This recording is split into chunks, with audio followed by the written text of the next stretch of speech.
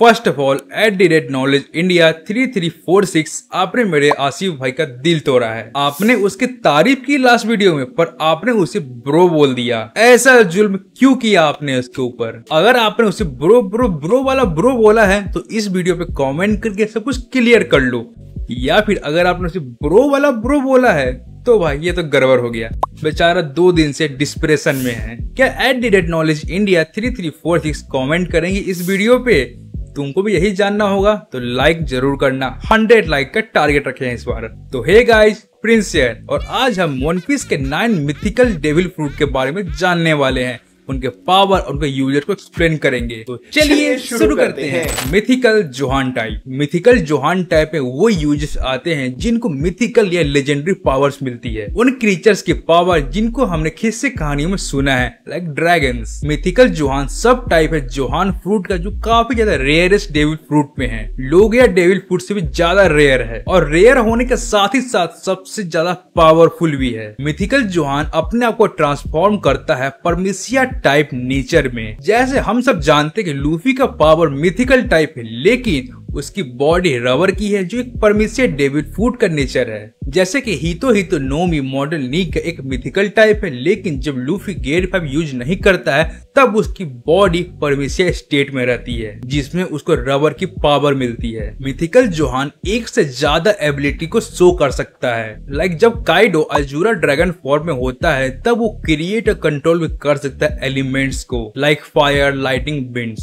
साथ ही में वो अपने पावर फ्लेम क्लाउड को यूज़ करके किसी भी जगह फ्लाई और लिफ्ट करवा सकता है। लेकिन यहाँ ऐसा भी नहीं है कि वो लोग या यूज़र्स की तरह उस एलिमेंट में ट्रांसफॉर्म हो सकता है। ना ना ना ना। लाइक जैसे कि अपना एस वो अपने पूरे बॉडी को फायर में कन्वर्ट कर सकता है, उस चीज़ में ट्रांसफॉर्म हो सकता है। पर मिथिकल टाइप में तुम एलिमेंट के पावर यूज़ कंट्रोल क्रिएट कर सकते हो, पर ट्रांसफॉर्म उसमें नहीं हो सकते हो। तो ये तो था मिथिकल जुहान टाइप की इंट्रोडक्शन अब हम बात करते हैं उसके कौन कौन से यूज़र से और उन यूज़र्स के डेविल फ्रूट की पावर्स क्या है। तो चलो, सबसे पहले हम तोड़ी तोड़ी नोमी मॉडल फिनिक्स से बात करते हैं, जो अपने मार्को दी फिनिक्स के पास है। मार्को फ़र्स्ट डिवीज़न कमांडर था व्हाइट बियड का। क्रू को ज्वाइन करने के बाद मार्को सीधा व्हाइट बियड के क्लोजेस्ट पर्सन आता है। और आगे चल के वो राइट हैंड भी बनता है। Summit war of Marineford में व्हाइट बेट के मरने के बाद मार्को लीडर भी बनता है। तब तक के लिए जब तक की क्रू के लोग अलग अलग नहीं हो गए पेवैक वार में। तोरी तोरी नोमी मॉडल फिनिक्स एक मिथिकल टाइप डेविल फ्रूट है, जिसके कारण मार्को एक फिनिक्स में ट्रांसफॉर्म हो सकता है।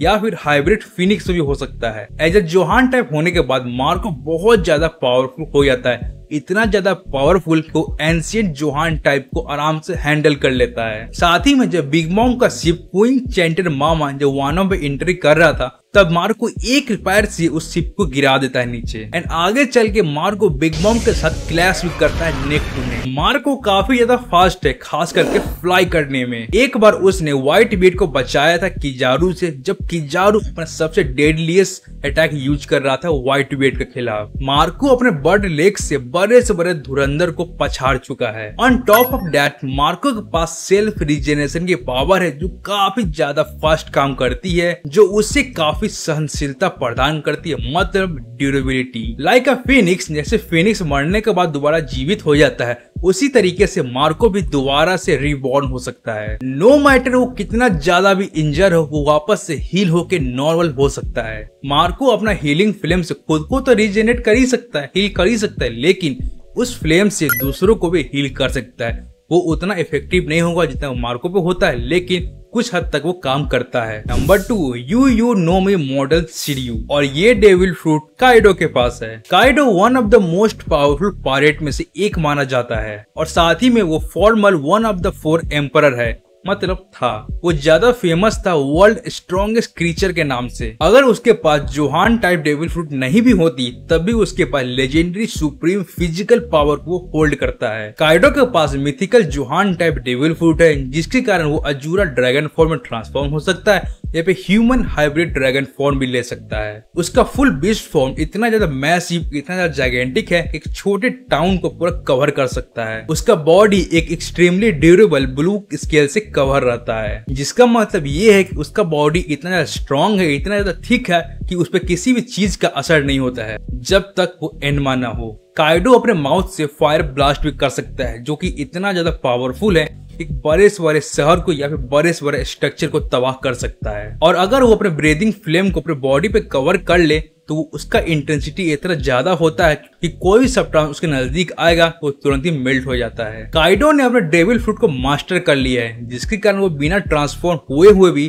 फ्लेम क्लाउड को कंट्रोल करके किसी बड़े से बड़े आइलैंड को भी लिफ्ट करवा सकते हैं। जैसे कि अपना होम टाइम ओनिका सीमा को। और काइडो ही उन रेयर पीपल्स में आता है जो तीनों को तीनों हॉकी को यूज़ कर सकता है। अगर आपको तीनों हॉकी के बारे में जाननी हो तो कार्ड में डिस्क्रिप्शन में लिंक मिल जाएगी, जाके चेक ज़रूर करना। नंबर थ्री हितो हितो नोमी मॉडल निका तो ये डेविल फ्रूट अपने लूफी के पास है। लूफी जब सात साल का था, तब उसने गोमो गोमो नोमी एक परमेशिया टाइप डेविल फ्रूट को खाया था, जो कि रेड हेयर पायरेट के तिजोरी में था गोमू गोमू नोमी खाने के बाद उसको रबर की पावर मिलती है जो कि उसको स्ट्रेच बाउंस बेंड ट्विस्ट यहाँ तक इन्फ्लेट करने की शक्ति देती है मतलब अपने शरीर के किसी भी अंग को बड़े जाइगेंटिक फुलाने में स्टार्टिंग में लूफी अपने पावर्स को कंट्रोल नहीं कर सकता लेकिन 10 साल की ट्रेनिंग के बाद वो कुछ हद तक उसे कंट्रोल कर लेता है और फिर जब उसने सिल्वर रायली के साथ दो साल की ट्रेनिंग ली तब उसे वो मास्टर कर लेता है लेकिन फिर हमें वानो कंट्री में पता चलता है ये तो ही तो ही तो नोमी मॉडल नीका है, एक मिथिकल जोहान टाइप जो कि अपने यूज़र को सन गॉड नीका के पावर प्रदान करता है, और साथ ही वो परमेशिया वाले नेचर को भी होल्ड करता है,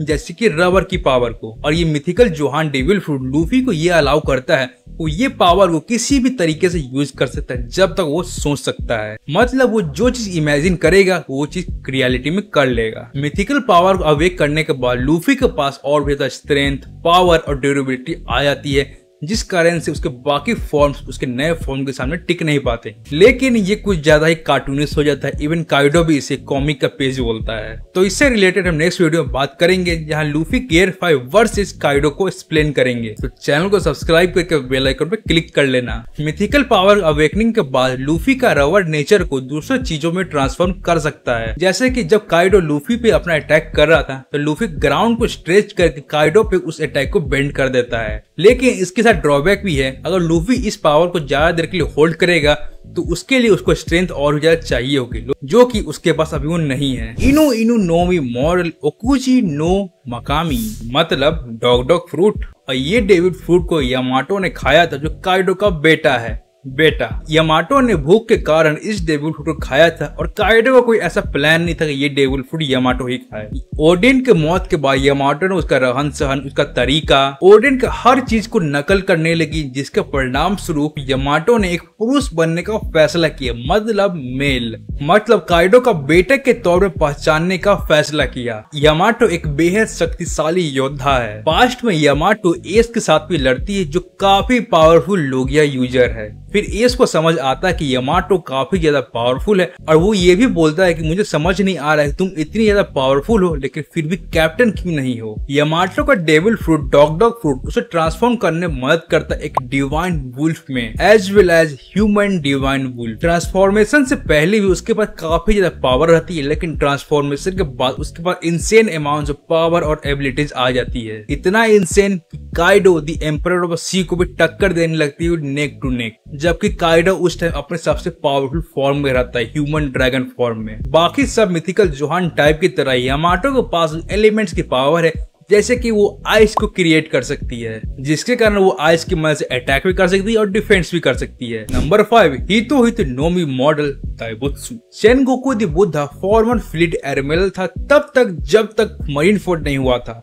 मरीन फोर्ट के बाद सेनगोकू ने अपना पोजीशन रिटायर ले लिया और उस पोजीशन पे साकाजुकी अब राज करता है मतलब बैठता है। सेन गोकू एक काफ़ी बड़ा नाम है, जैसे white beard Gol D Roger Monkey D Garp Silvers Rayleigh Sen Goku एक काफ़ी ज़्यादा एडवांस फाइटर है हैंड टू हैंड कॉम्बैट में। 22 साल पहले मरीन फोर्ड में जब सिक्की तबाही मचा रहा था तब मंगे डी गार्प और सेनगो को मिलकर उसे रोकते हैं, जिस कारण से मरीन फोर्ट आधा तबाह हो जाता है। और सीकी को यहाँ कमज़ोर इंसान नहीं था जाके पकड़ लिए। सीकी यहाँ पे मास्टर स्वॉर्ट्समैन था, जो अपने एक स्ट्राइक से पूरे मरीन फोर्स को तबाह कर देता है। सेन गोकू के पास मिथिकल जुहान टाइप फ्रूट है, जिसके मदद से वो बुद्धा में ट्रांसफॉर्म हो सकता है कि जाइगेंटिक बुद्धा में। सेन गोकू के पास पहले से इंसेन अमाउंट पावर है, लेकिन जब वो ट्रांसफॉर्म होता है बुद्धा में तब उसकी पावर छप्पर फाड़ देती है। सेन गोकू अपने पावर के यूज़ से शॉक वेव को भी क्रिएट कर सकता है, जो कि बुद्धा फॉर्म में होता है, और वो इतना ज़्यादा पावरफुल होता है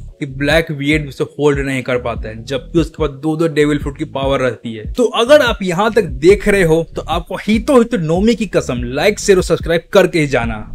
मतलब जाना नहीं, आगे देखना। तो अब आते नंबर सिक्स ही तो ही तो no me model own you do he तो ही तो no me model own you do एक मिथिकल टाइप जोहान फ्रूट है, जो अपने यूज़र को जैगेंटिक लार्ज मॉन्क योकाई में ट्रांसफॉर्म करता है। जिसका यूज़र एक फॉक्स रहता है ओनीमारू ओनीमारू एक फ्लेम फॉक्स है। जब ओनीमारू का मास्टर मरता है सिमोत्सुकी उसी मारू तब ये कवा मात्सु के साथ वेपन्स को स्टील और कलेक्ट करता है। बिकॉज़ इन सबको काइडो से लड़ना होता है। जब कवातमात्सु को कैप्चर कर लिया जाता है, तब ओनी मारू ह्यूमन फॉर्म लेके भी वेपन्स को कलेक्ट करता है और उसके प्रोटेक्शन भी करता है। ओनी मारू के पास एक मिथिकल डेबिल फ्रूट है, जिसके कारण वो ओनियाडू में ट्रांसफॉर्म हो सकता है और फॉक्स होने के बावजूद ही उसके पास इंसेन अमाउंट ऑफ़ पावर आ जाती है। उसका साइज़ बड़ा होने के साथ साथ उसका स्ट्रेंथ भी काफ़ी ज़्यादा बड़ा है। इतना ज़्यादा बड़ा कि सर जोरो को भी मैच कर पा रहा था। नंबर सेवन हिबी नोमी मॉडल यमाटा नो ओरुचि एक ए स्नेक स्नेक फ्रूट जिसको ओरुचि खाया था